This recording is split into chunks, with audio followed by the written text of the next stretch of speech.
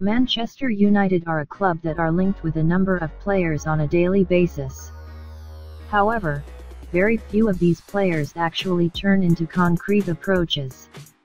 There are a few names that keep doing the rounds regularly with regards to the club, some even for seasons. Yes, Frenkie de Jong, we are talking about you. One name that has been heavily linked with a move to Man Utd in the recent past is Barcelona superstar Ronald Araujo.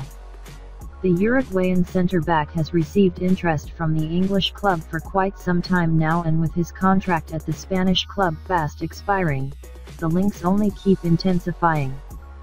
Back in the summer, it had emerged that Manchester United were willing to double the wages to convince the 25-year-old to make the move to Old Trafford.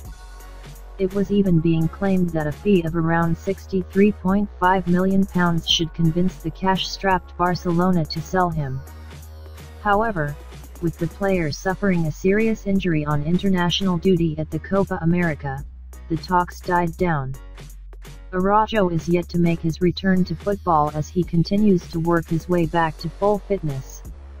Now, as per caught offside, Man Utd still remain keen on signing Ronald Araujo and could finally make a move for the South American.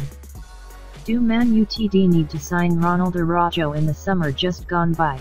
Man Utd signed two new centre-backs Leny Yoro and Matthijs de Ligt.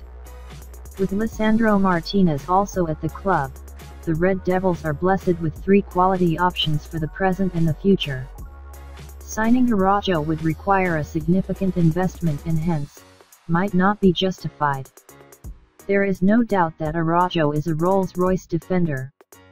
When fit and at his best, he would give the likes of Virgil van Dijk and William Saliba a run for their money. Everything points towards him going down as one of the best in his position, fitness permitting. He is a throwback to the older school of defenders and a beast in one-on-one -on -one situations.